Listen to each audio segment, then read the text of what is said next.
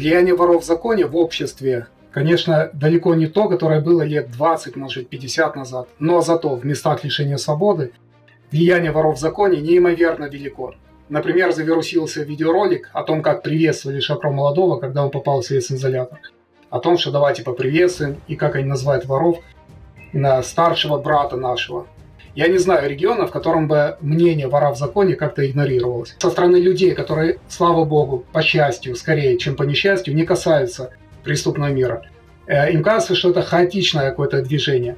Однако преступный мир, особенно профессиональная преступность, очень организована. И это можно представить себе антигосударство. Там есть свои правители, это могут быть свои нормативные акты, которые издаются в виде так называемых прогонов, письменное обращение одного или нескольких воров в законе к лицам, содержащимся в местах лишения свободы. Есть своя казна или бюджет, это общак.